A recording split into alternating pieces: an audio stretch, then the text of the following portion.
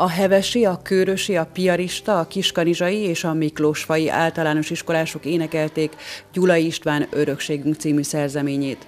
A kezdeményezést Paksvárosa támogatta először, hozzájuk csatlakozott az első között Nagykanizsa is. Örömmel fogadtam ezt a kezdeményezést. Rólunk szól, magyarokról szól, magyarságunkról, értékeinkről szól, de nem csak az anyanemzetről, hanem minden magyarról, aki ebben a világban él. Dénes Sándor polgármester köszönetet mondott mindenkinek, aki részt vett a film elkészítésében, hiszen, amint mondta, ez egy nagyszerű összefogás eredménye.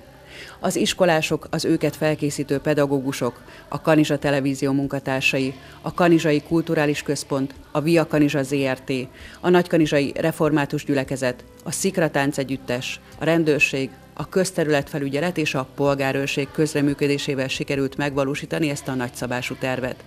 Az elkészült videoklipet megnézte Cseresnyis Péter államtitkár is, aki azt mondta, minden közösségi összefogásban erő van, de legfőképpen akkor, ha szellemi örökségünk, identitásunk megőrzése a cél. Ezt a magyar örökséget, amelyet szüleiktől, nagyszüleiktől, dédszüleiktől örököltek, meg akarják tartani és tovább akarják adni.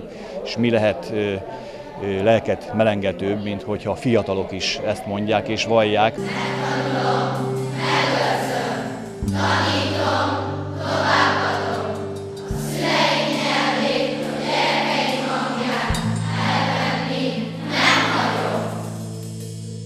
A videóklip hamarosan megtekinthető Nagykanizsa város honlapján, a Facebookon, valamint az örökségünk.net weboldalon is.